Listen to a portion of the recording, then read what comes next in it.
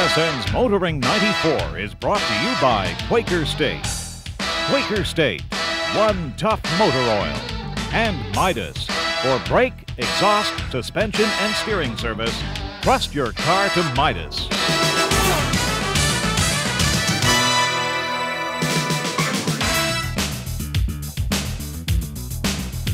This week we brought the program to a General Motors assembly plant in St. Therese, Quebec. Now this is one of 32 GM assembly plants in North America, so we had plenty to pick from. Why did we select this one? Well, as you're about to see, this plant is very special in the GM family. It was just a few years ago that it faced a total shutdown as the plant approached its 30th anniversary. Then along came two cars, which made a winner out of General Motors and offered a future to the over 3,000 men and women who work here.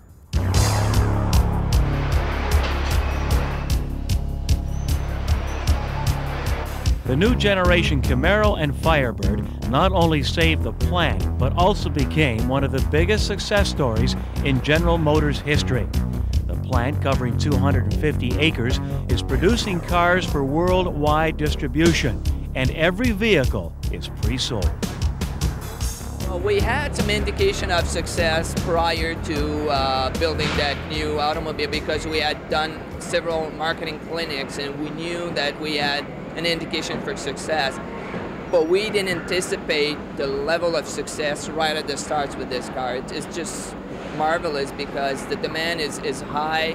When we started 1994 model year, we had 65,000 orders in the bank. And actually for the employees, it's a lot more fun to work on a sport coupe type of car and that they're the sole producer than on the family car. Because uh, every car in this industry, no matter where they're produced and sold in the world, they know they're part of it. The vehicle has just been an absolute phenomenal success in the marketplace. We, um, we have all the orders that we, we know what to do with can't build all the orders we got, as a matter of fact. And so I actually have the luxury of having people sending me inquiries, can you build my order? And, and that's a good feeling that the vehicle is so well received. 27 years ago, when I started here, we were making the uh, 1967 Chevrolet Impala and Parisienne. I've been here 27 and a half years. I've seen all kinds of changes in this plant but uh, none like the change for the Camaro and Firebird. It's really exceptional. The whole plant is completely redesigned and it's bringing a lot of more prosperity to the area.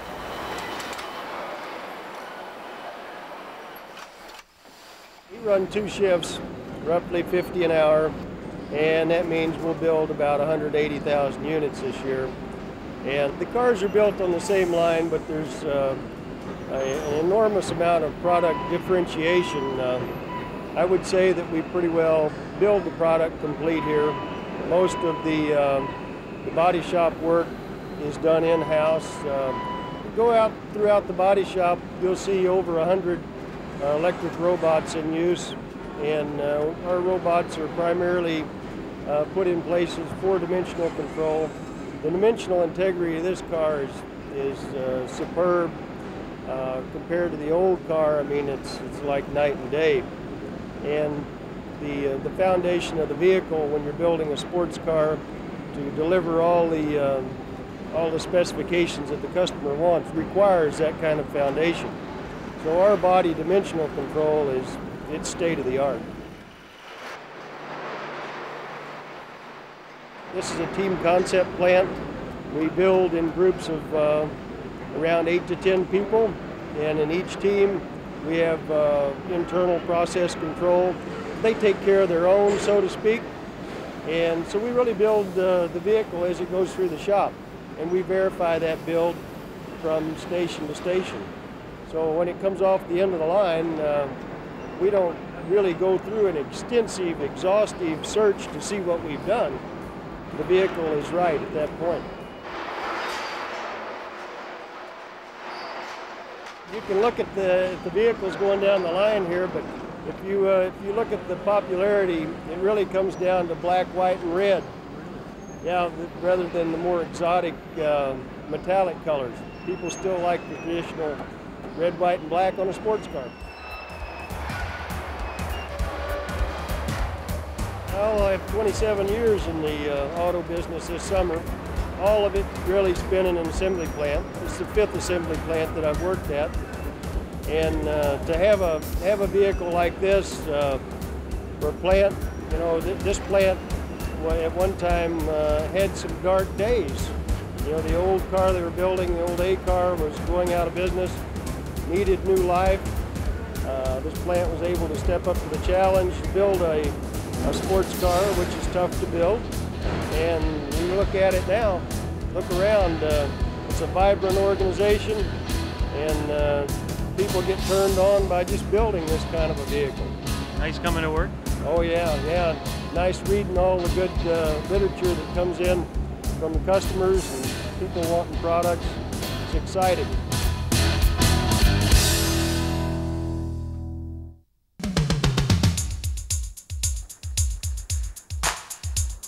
Test Drive with Graeme Fletcher. This week on Test Drive, we look at the 1995 Mazda Millenia. Now, this vehicle was supposed to be the entry-level Amati. Fortunately, when Mazda decided to dump the Amati nameplate, they kept the Millenia in the lineup. Without question, the highlight of the new Millenia is the engine adopted for use in the S model. It's called a Miller cycle engine. The Miller cycle was originally designed for stationary engines that ran on diesel. Mazda have adapted this technology for use with gasoline. This engine differs from a conventional engine in two important ways. By delaying the closing of the intake valve, you effectively reduce the compression ratio without affecting the amount of power produced.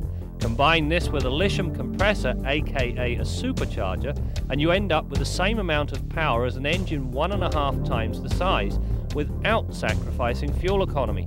During the test, we averaged a commendable 9.9 litres per 100 kilometres or 28.5 miles per gallon.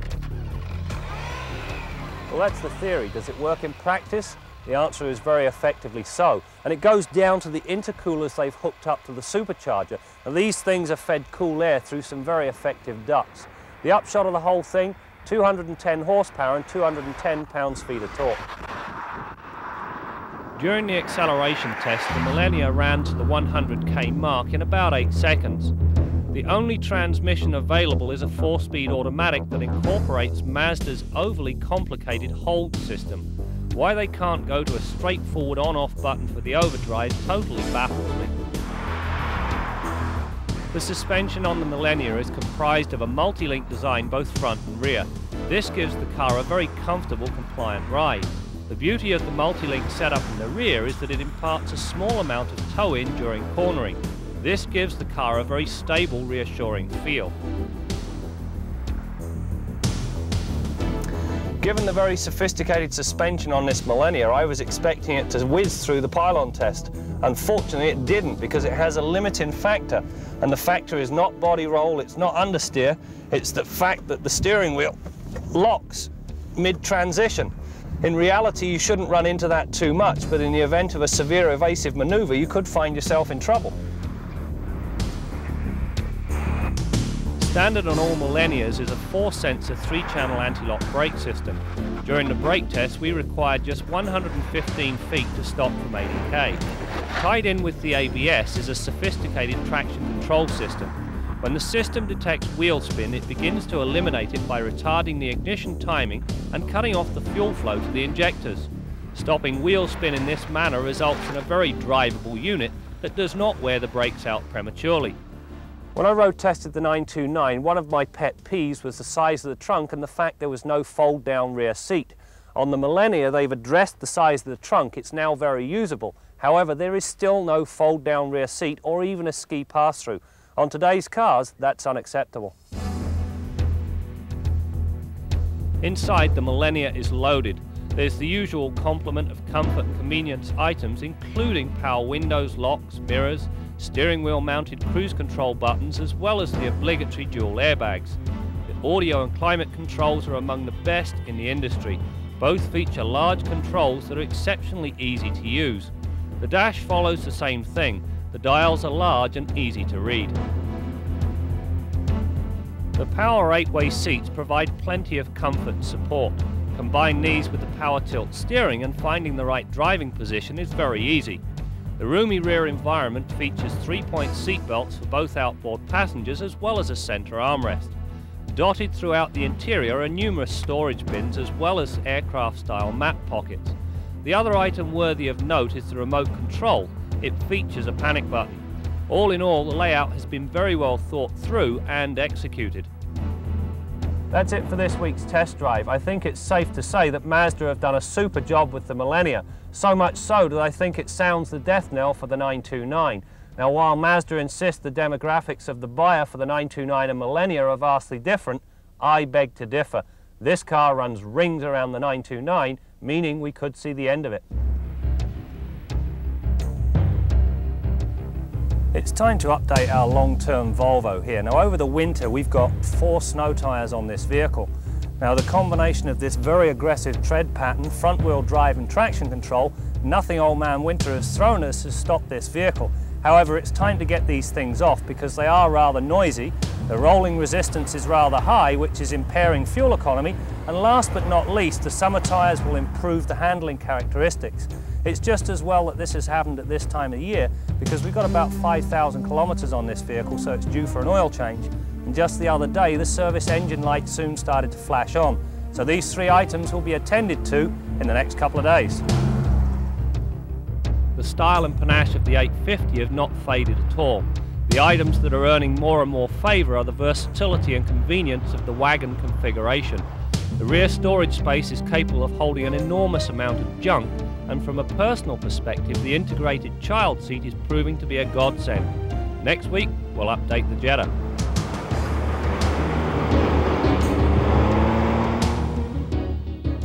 You're looking at the 25th anniversary Trans Am being built here at the GM assembly plant in St. Therese, Quebec. Now, only 2,000 of these vehicles will be built, only 200 going to lots in Canada. And they tell me that already a bidding war is underway. All right, let's now head to the Motoring 94 garage and join Bill Gardner. You know, Brad, when you look at the way those new Firebirds and Camaros are put together, all the high-strength steel, the galvanizing, the extensive use of uh, polymer or plastic exterior body panels, there's a car that could conceivably be looking just like new, almost in showroom condition after many, many years of service. And you could conceivably put a lot of miles on those cars as well. So you're going to want to maintain the powertrain in a vehicle like that in such a fashion that it'll be in like new condition when your chassis is still looking like new after 10 or 12 years. And that's the perfect application for today's synthetic lubricants. They're high performance lubricants that are well suited to the uh, demands of many of today's cars, like the Firebird, the Camaro, Corvette, and other high performance cars. They're going to give you superior performance and protection at extremes of temperature, both at the low end, uh, typical Canadian sub-zero starting in the winter.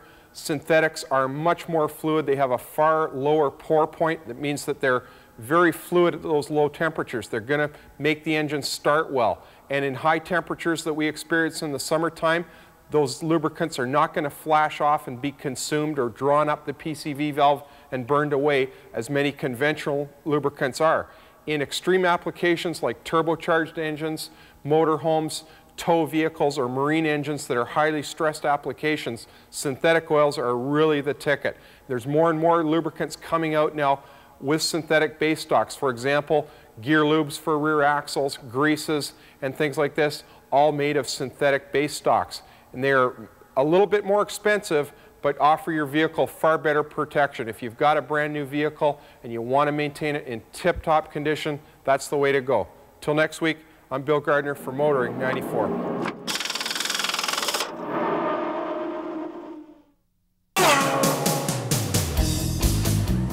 It's not often that a customer gets to visit and pick up his brand new car at the plant. But that was the case for Eric Gangl, the new owner of a Camaro Z28 is a special day. It's not every day that we get to bring a customer to the plant and see really what's what's happening in the plant, how his car is going to be built, what takes place. And I guess best of all, it's probably a, a great sensation for an, a future owner of a car to say, wow, I really got to see the nuts and bolts, the engines, the axles, the whole thing go together. It's a great thing for him, I think. I am.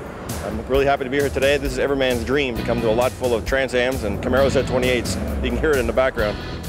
Why the Z28? I've had a Camaro before, and I was so impressed when I drove the car on the changes and how modern the car is that it's irresistible.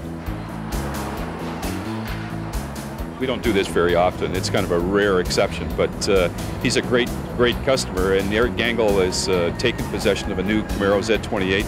I think it's uh, probably a very happy day for him, and we sure hope he has a lot of years of happy use out of a great new car. Would you like viewers now to phone uh, Dave McCall personally and uh, get a personal tour? Well, I'd like to be able to do it for everybody, Brad, but we can't. We just uh, we don't have the people. We're not set up to do it, and uh, most importantly, is it distracts a lot of people in the plant, and our production goes all to heck. So no, we can't afford to do it.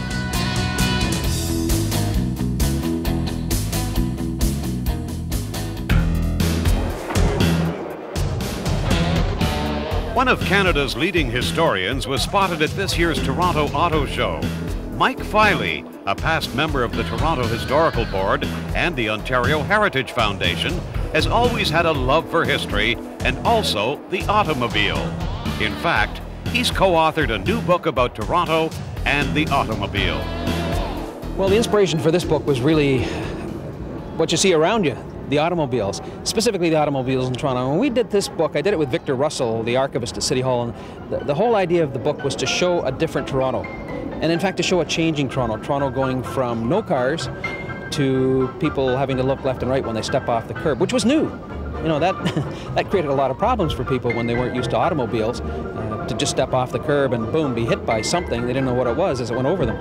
And so we, um, we got together a group of photographs that depicted the changing face of Toronto. Um, and we called the book Horsepower, because that's what it was, to Horsepower, because that's what it became. And uh, there were car shows before 1906, but very cleverly the auto dealers had their own car shows, but the secret was to have them in their showroom. So you really didn't see cars, you saw their cars. You saw Wintons, you saw Pierce Arrows. And it wasn't until 1906 when a group of dealers got together and decided that they would show all the cars that were available to Torontonians. And the year was 1906. We used several photographs in the book to depict what was, what is, or what was coming. And nine out of ten vehicles were still pulled by horses. In fact, Simpsons at one time, traditionally, Simpsons had the dapple grays. You could always tell who was delivering on your street by the color of the horse pulling the, pulling the wagon. You have dapple grays and chestnuts uh, for the Eaton's people. But in, in the photograph are a couple of trucks. And that really says what's happening. The horses are about to vacate the scene and all the deliveries are about to be made by, by automobile of some sort or other. Uh, the other picture we used is the cover photograph, which, which shows the car and the streetcar and a cow. Now, this is called Horsepower to Horsepower, and it's a cow because this was the utter book that I did. The, the utter book that I did, so we put the cow on the cover. One of the interesting features of a Toronto street or any city street, Vancouver, doesn't really matter. Take a look at the street and you'll see that the corners are rounded. And we, we don't pay any attention to that. I mean, the corner is rounded. In the early days, they weren't rounded. They, they came to a point. Well, that was all right for horses. But when cars started to turn the corner, you know, they'd, they'd hit that pointed part of the intersection, and so they rounded the corners. And you can see that today. That is a direct result of the automobile making it easier for him to get around the, him or her to get around the corner in the car.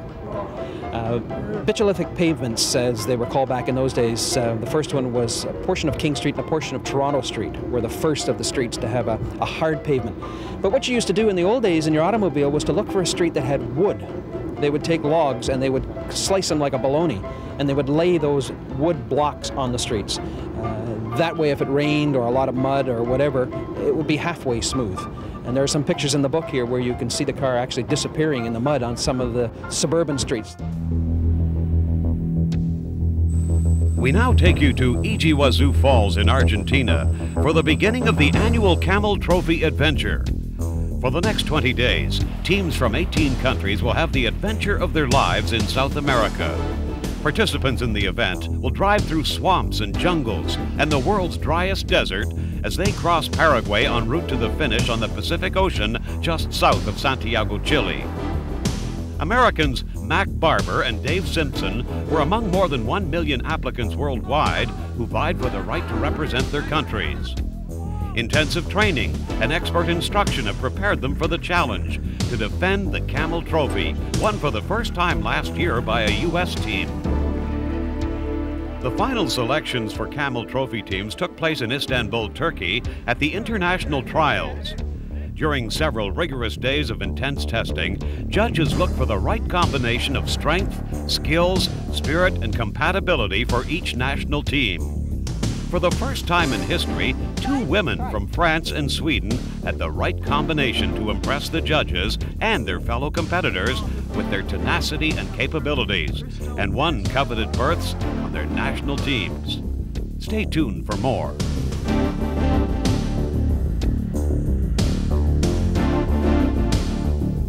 Our Midas tip of the week concerns one of the downfalls of operating a vehicle consistently on dirt roads.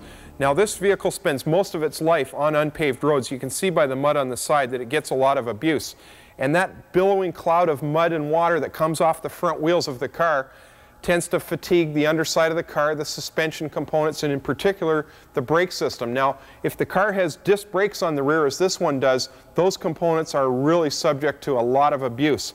Things like seized calipers, heavily scored and rusted rotors, and brake pads that become stuck or seized in their keyways are all facts of life for a car like this. Now, if you remember the older cars with drum brakes, the brake drum actually slid over the entire brake mechanism and completely enshrouded it, and the centrifugal force of the drum turning would sling all, those, all of that debris away from the brake mechanism. Those cars were pretty good in this, this type of condition. But today's cars, many of them with four-wheel disc brakes, are getting an awful lot of fatigue from that. Now, if your car is operated in the city, you may never encounter these conditions and never have these kind of problems. But if it's operated on secondary roads, be prepared for more frequent servicing and costlier brake jobs, particularly on those rear brakes. That's your Midas tip of the week.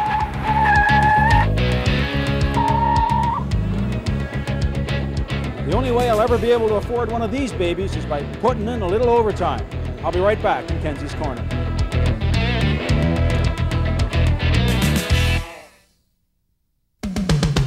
Kenzie's Corner with Jim Kenzie. A couple of years ago on Kenzie's Corner, I commented that some Canadian car workers seem to be getting awfully whiny. Give me this, guarantee me that. Well, I said at the time that if you didn't want your job, there was no shortage of people in Taiwan or the Philippines that would be more than happy to have it. The only way to guarantee employment in this day and age is to build good quality at low cost. Now, I'm not going to take any credit for it, but the people at this factory, the General Motors Camaro Firebird Assembly Plant in Boisbriand, Quebec, have really done that. A couple of years ago, this plant was slated to be closed, but with good management, leadership, and good support from the union, this factory turned it around, and they're now the only source for Camaros and Firebirds. Anywhere in the world you see one of these cars, you know it was built right here in Canada. And you know, when people ask me about these cars, they always say, Camaro Firebird or Mustang? Well, my views on that subject are pretty well known too. On last year's Car of the Year show, I said that the Camaro and Firebird were great looking cars, 275 horsepower, four-wheel disc anti-lock brakes, dual airbags, six-speed manual gearbox, standard equipment for less than $24,000. Nobody, particularly the Ford Mustang, can come close to that. I'm Jim Kenzie. When you look at all these brand new Camaros and Firebirds, it's hard to believe that you can wait, in some cases, up to six months for delivery. And while most of these cars are headed to the United States, GM tells me they're going to add on an extra 1,800 for Canada. Sounds good to me. That's it for now. We'll see you next week for more stories about cars and the people who drive them. TSN's Motoring 94 has been brought to you by Quaker State. Quaker State, one tough motor oil. And Midas. For brake, exhaust, suspension, and steering service, trust your car to Midas.